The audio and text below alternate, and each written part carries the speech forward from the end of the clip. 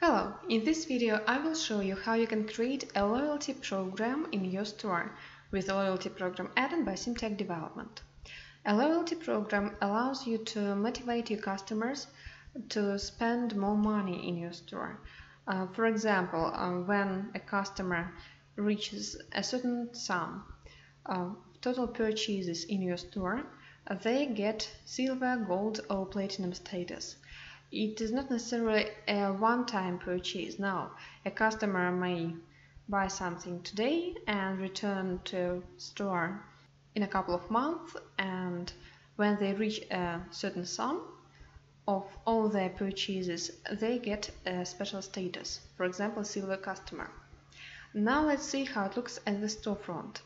Uh, you already can see uh, the page of loyalty program and let's see how it looks in the profile of a customer.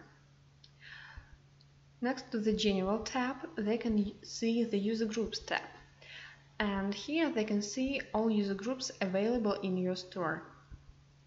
Uh, when you activate a certain user group for the customer, they can see that it's active. I guess it's quite clear. Uh, now let's uh, take a look how it looks like in the admin panel. When you install the add-on, uh, you get a special uh, item here, a special page, Loyalty Program.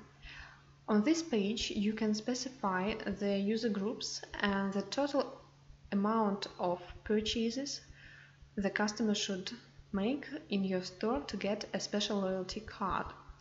The cards can be changed.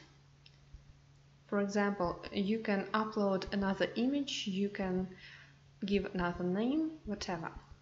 And you can also choose a user group from the user groups those are available in your store. I guess it's quite clear and let's see how it works. I go to our customer, a test one, and I purchase something. For example, PlayStation. Okay. I add it to cart, checkout. I prefer phone ordering to save time.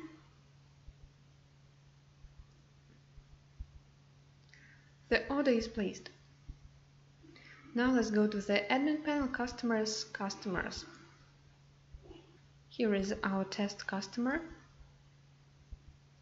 and the user groups available.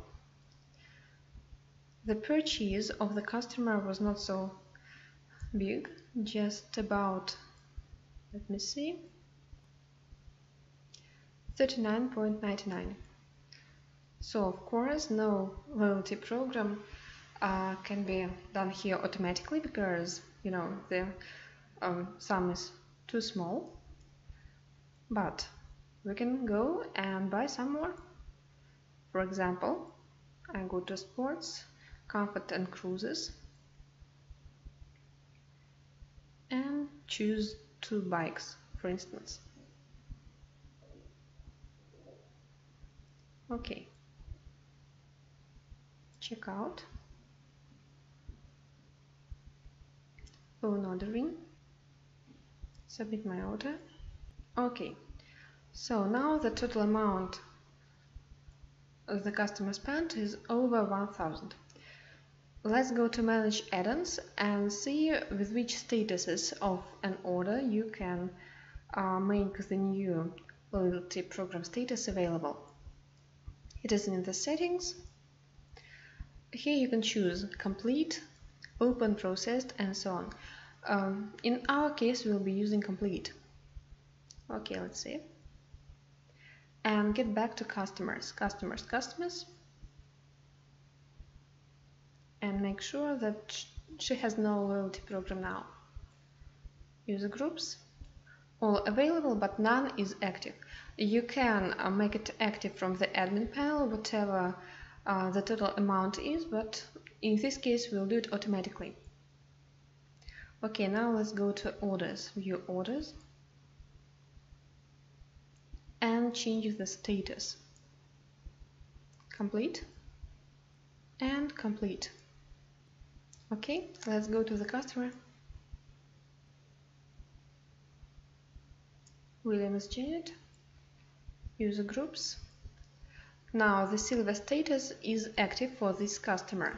Uh, this is because we have got a loyalty program where silver clients are those who have spent more than $1,000 in our store get a special silver card which gives them 10% discount in our stores. Uh, that's all about the loyalty programs. Uh, as you can see, it's quite simple add-on. I should also show you uh, how you can configure the page of the loyalty program. It's a normal page of your website, so you can simply go to the layouts, uh, choose the loyalty program page, and here you can modify the content